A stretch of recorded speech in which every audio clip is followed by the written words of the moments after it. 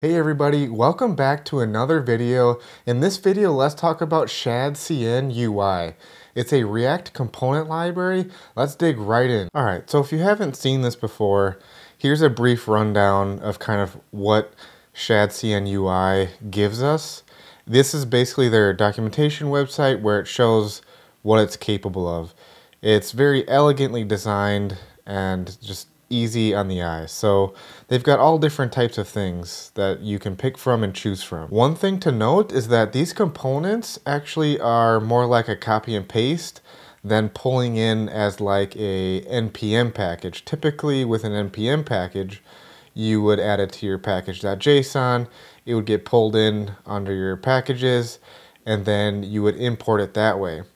However, with ShadCN UI, when you actually add these components, so take this accordion for example, you're actually going to add the accordion and it's going to copy this into a directory and then you can make whatever changes you want. One thing you should know is that a lot of these components are built on top of other libraries.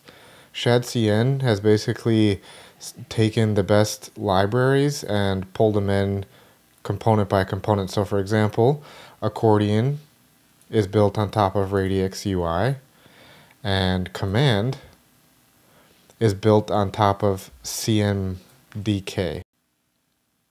All right, so here we have a blank Laravel project.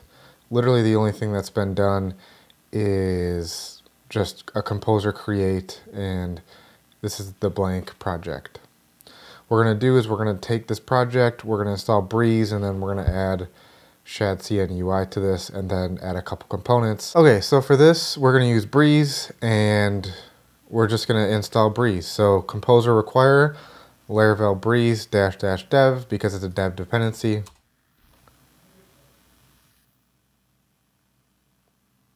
The next thing we need to do is actually run the install command for Breeze and React. So ShadCN UI is only for React, and so what we're going to do is we're going to tell Breeze install for React and then use TypeScript. So ShadCN UI uses TypeScript, so we're going to use TypeScript in this.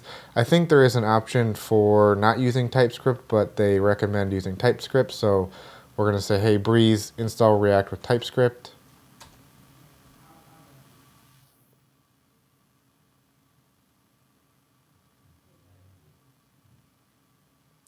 This is going to give us a stack with inertia, React, and then ultimately Vite and TypeScript. Next, we need to initialize ShadCN, and this is going to ask us a series of questions that we need to answer about our project, and it's going to write a components.json. So let's get the process started. Are we going to use TypeScript? Yes, that's the one that we used when we installed Breeze with React. I'm going to use New York as the style. You can use the default or New York. I think they both look great. The base color for us is going to be slate. And we need to basically say where this global CSS file of our project exists. And so let's go take a look at where this is right now. So we need to tell ShadCN where our app CSS is, and that's going to be in resources, CSS, app CSS. So resources, css app.css.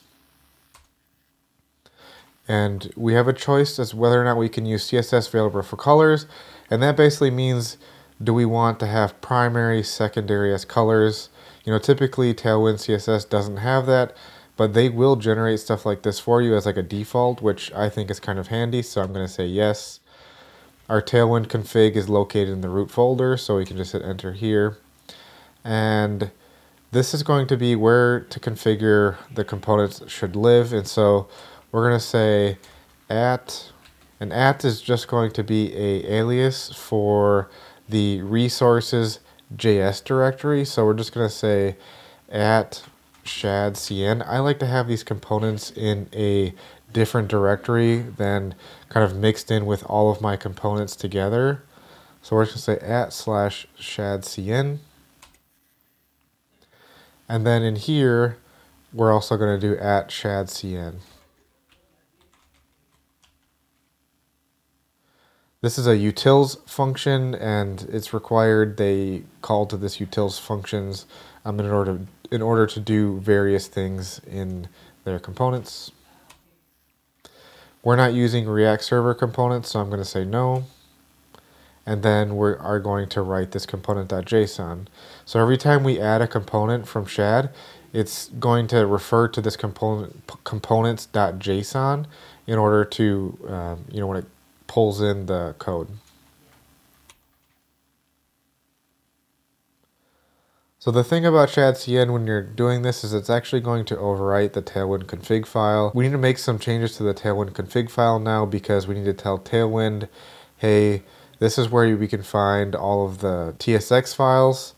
Otherwise, our project will look funky. So if we look at our Tailwind config right now, it's got all of this stuff in here that we don't really need. If we run our build server, so npm run dev, this is starting Vite. And if we go back, we can see that the project doesn't look right. It doesn't appear to be taking the styles, and that's because we need to basically tell it that this is where you find the TSX files for our project. So we're going to remove that, and then we're going to tell it this is where to find our files. It's in resources, JS, and then any TSX files you see there. So if we save this and go back to our project, it's back to normal. So now shadcn is installed, we can actually begin using it. So let's look at the, the web. And then this is the kind of welcome page. We're just gonna take over the welcome page. All right, let's take over this welcome page and just make some updates. So we're gonna delete some stuff that we don't need. So let's start with just a simple h1 tag just to make sure everything looks good. Looks like we've got our hello and it's dead center on the page. Now that we've got a super basic, you know, welcome page, let's actually add a component because if you notice on the left, we've got the shadcn folder, but it's blank. So let's go find a component that we're going to add into our project. Let's add this alert dialog. So in order to add a component, they give us a button to copy this stuff. So I'm just going to choose NPM. All right, so we're going to take that copy and paste and we're going to put it in here. And it's just going to be the alert dialog. Let's check out where it actually installed that. So it's going to install it in the shadcn. Notice that we've got some stuff here. Notice that these are here in our project where we can make any kind of changes that we want. This is not pulling in a library, uh, you know, and then using it in your project. This is, you know, it's actually creating these components in your project and then you use those components in your project. So we've got the alert dialog and then the button because in their example, their example actually uses the button to trigger and then it kind of defines what's happening down here. So we're going to take this code, copy this. Okay, now that we've pasted this in here and we've imported our dependencies, we've got our dependencies listed here. If we go and refresh our project page, we should have this now. Notice we've got the button, and when we click it, it opens up the modal.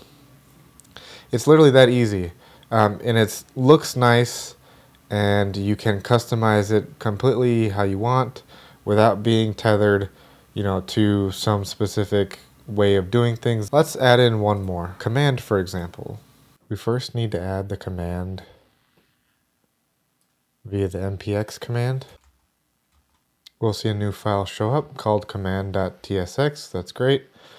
Let's take their simple example down below and put it in our project. We've got this in our project. We've imported the dependencies. Now let's take a look at what our front end looks like. And as you can see, we've got this nice kind of command where we can do things if it was all hooked up. Using Shad, CN, and Laravel, as you can see, is you know pretty easy. I like to call it Larashad. I'm going to have a link in the description for a repository that if you want to clone and get started, it's going to be super simple to get started. Everything will already be set up. So look for that down below. Drop a comment below on how you're going to use Shad in your project or what you plan on building with Shad. It'd be really awesome to hear from people as to what they're going to build. If you enjoyed this content or this content was helpful for you, feel free to like and subscribe and hit that notification bell because it'll notify you when I post more videos.